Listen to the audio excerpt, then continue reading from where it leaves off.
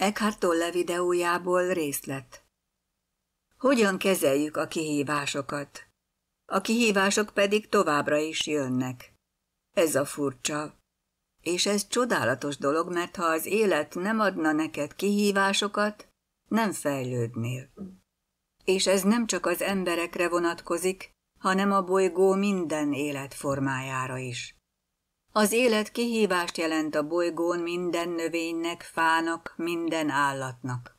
Ehhez kétség sem férhet. Ez a bolygó minden faja számára kihívásokat jelent, és így növekszik a tudatosság a kihívásokkal való szembenézés révén. És egyszer, ha ezt felismered, talán ezt látod egy filmben. Nem akarsz olyan filmet nézni, ahol a szereplőknek nem jelenít meg kihívást az élet. Más szóval, tegyük fel, hogy egy moziban vagy. Elkezdődik a film, és a cselekményben semmi baj nem esik meg. Akkor 15 perc után azt mondanád, ez nem érdekes film, nem történik benne semmi rossz. Mert szinte minden filmben valaminek rosszul kell mennie. Ellenkező esetben nincs film mert csak akkor van, ha a dolgok rosszul mennek. A főhőst kihívások érik, majd valami történik. Vagy oly módon avatkoznak be a kihívásba, ami nem túl jó film, ami azt jelenti, hogy a rossz fiút végül kiiktatják, vagy végeznek vele. Ha ez egy jó film, a kihívás az, amelyel a karakterek szembesülnek, és ez változást hoz a karakter jellemében. Ha ez egy jó film, nem sok ilyen van, de néhányban a karakter tudatosabbá válik a kihívásokon keresztül. És akkor még az is lehet, hogy újra és újra és újra meg akarod nézni azt a filmet, a történetet. Már tudod, mi fog történni, már nem ezen múlik. Ez másodlagos. Egyszerűen csak élvezed a folyamatot, és ahogy nézed, ahogy valaki felébred, valahogy részt veszel abban az ébredésben. És ez akár vicces film is lehet.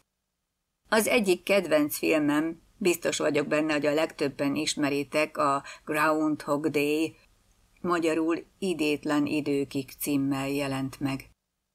Én ezt már sokszor megnéztem. Azt mutatja be, hogy valaki mélyen öntudatlan és szenved, szenved, szenved.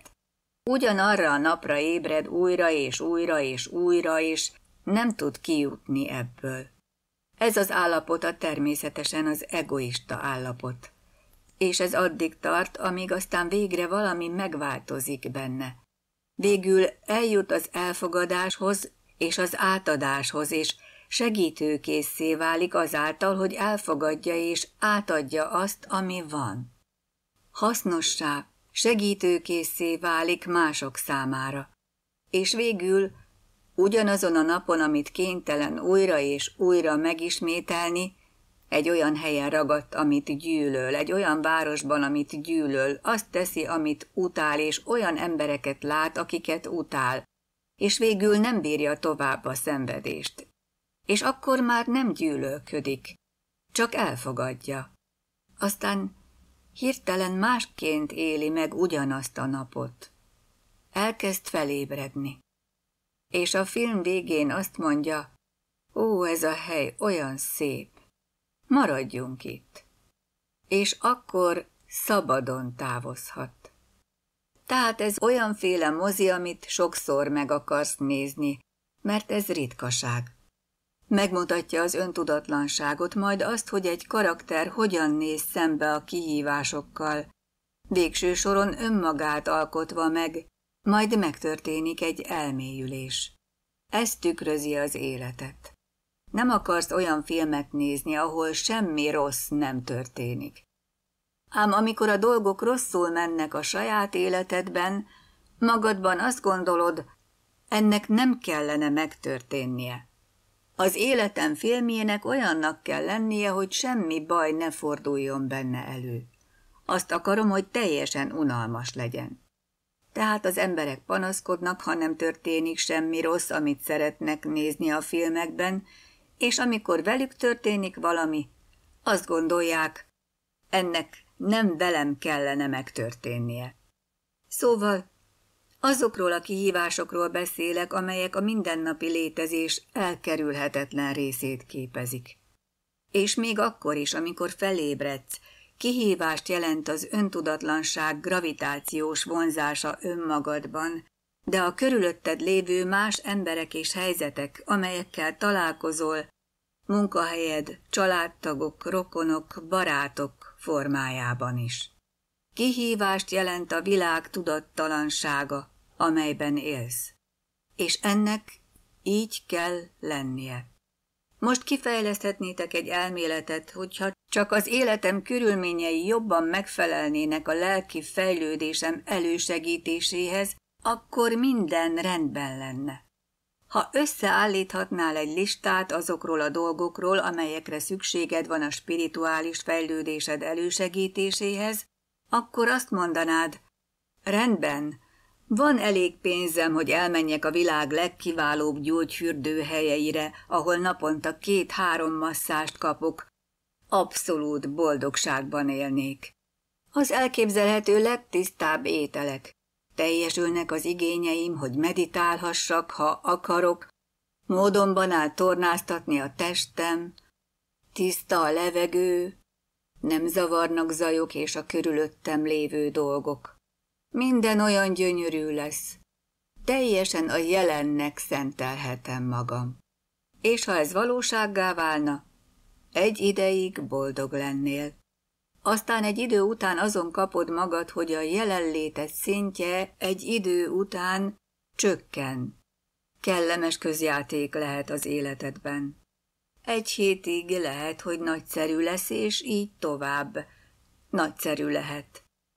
De ha úgy gondolod, ez elősegíti a lelked növekedését, és a kihívások hiánya megkönnyíti a spirituális növekedésedet, akkor nagyot tévedsz. Végül azon kapnád magad, hogy a jelenléted szintje csökken, mert nincs rá szükség. Túl jól mennek a dolgok.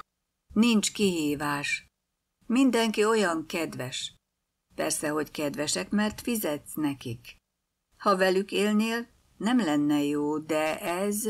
Szóval van elég pénzed, hogy megvásárold a körülötted lévő emberek kedvességét.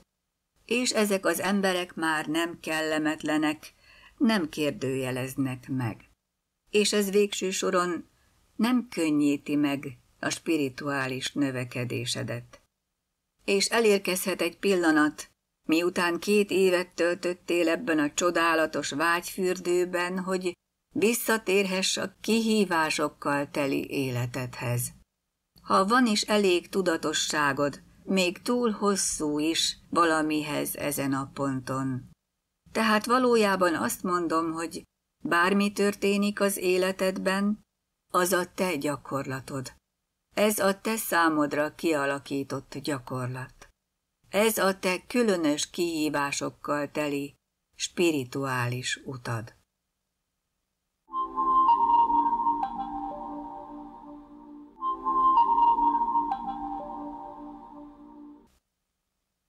Felolvasta Korek Mária